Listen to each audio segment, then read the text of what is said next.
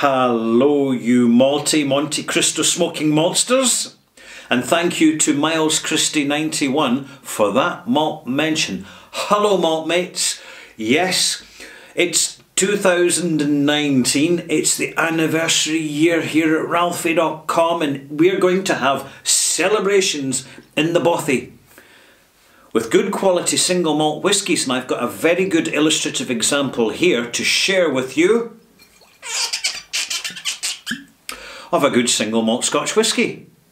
In fact, I think so highly of it that I have named Craigellachie. So we'll start that one again. Glenallachie, 12 year old, official bottling, single malt Scotch whisky from Speyside as my whisky of the year for 2019. Not of 2018 because we're always looking ahead when we select our whiskies of the year. Uh, to, to tie in with what's trending, increased expectations amongst malt fans, what I think's really good quality, and importantly, it's not too expensive either, and it's available. So I, I think we've ticked all the boxes with this, and it's a very good illustrative example of an integrity bottling. More about that in my extras. In the meantime, I have poured a dram. I have my steampunker ready for any challenging writing on the labels. You know, some things in the bothy, they just don't change. They will always be here. This, by the way, is Ralfy Review 758. I better mention that in passing so as I don't forget to say it. Right, so here we are, Glenallachie. Why? Well, it's about smell and about taste. I'm going to come to that shortly. This is in the glass just opening up, settling down, finding its feet before I smell it and taste it. But uh, with this particular Scotch single malt, it's got an age statement 12 years. It's bottled at 46%, so it's a higher alcoholic strength, and in being so, it simply delivers more flavour in the experience because there's more alcohol in the bottle to hold the additional flavour. It's as simple as that. Also, it's unchill filtered natural colour. You can see looking at it, that has not had caramel colouring added to it.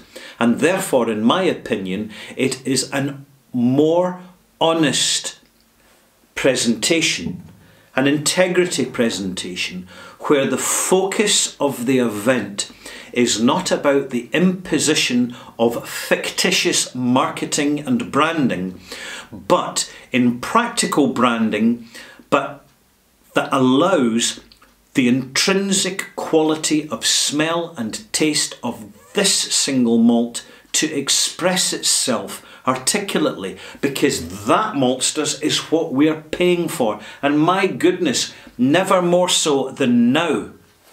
Things are changing. They really are changing in the whisky world. And uh, some of these changes we learn about and others we discover by accident. Uh, so there's something else to discuss about later. So let's smell this. Not a lot of peat going on here, maltsters. What we have is something that is profoundly rich, fruity, slightly syrupy, spicy and Speyside. It's got some lovely sort of slightly herbal aromatic notes to it. Slight sage note and thyme, definitely notes of thyme in the nose. A little bit of wooden cask, oak cask in the background. I will explain shortly how this bottle was composed because it's the skill of the composer that makes the music. The music of smell and taste. Oh, I love that quote. I just made it up in the spot there. Did you like it? Taste.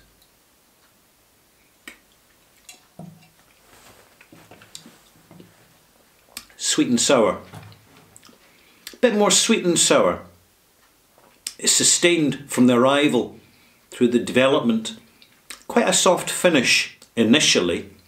That will change when we add a bit of water. The whole experience is slightly concentrate, as if perhaps just a little drop of water, not too much, is going to allow this to become more complex and expressive. For a 12 year old whisky, it's pretty good to start with. But once you add a drop of water, give a little bit of time in the glass without too much agitation, you do notice it becomes more aromatic on the nose. There's vanilla there, absolutely, and sultana notes. Those fresh and dried fruit notes, a little touch of apricot and pineapple and banana. It's really quite complex. It's a busy malt. There's a lot going on. It's not immediately apparent. It needs When you taste it, now we've added water. More volume in the arrival. The banana comes out more. The aromatic notes.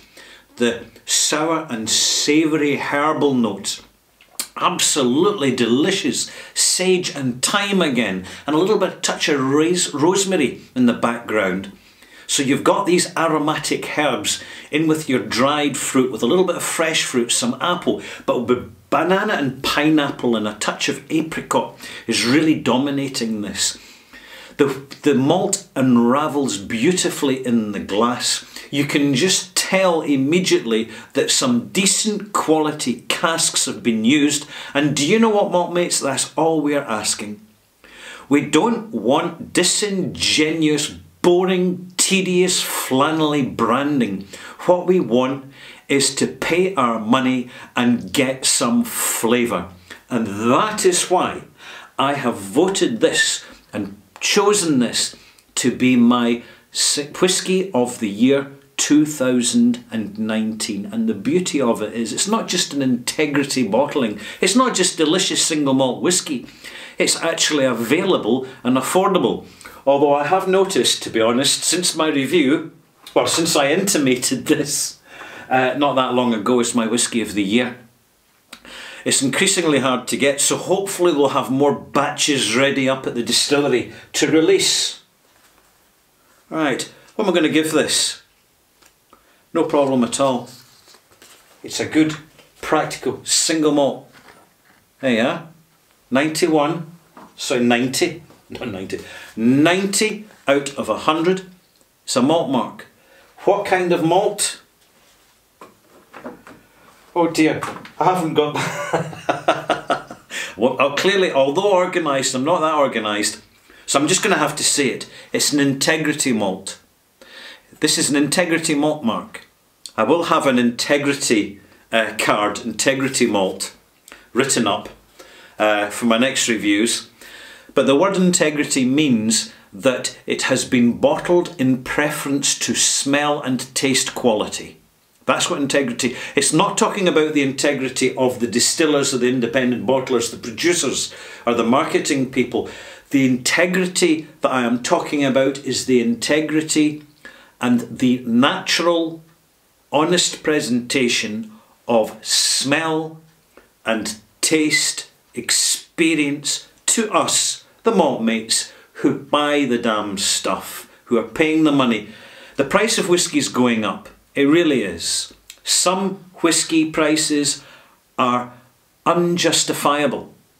They are being put up on the back of the collector's market, you see that if people are going to pay this at auction, well, we better put our prices up because otherwise they're just going to be even more expensive at auction anyway.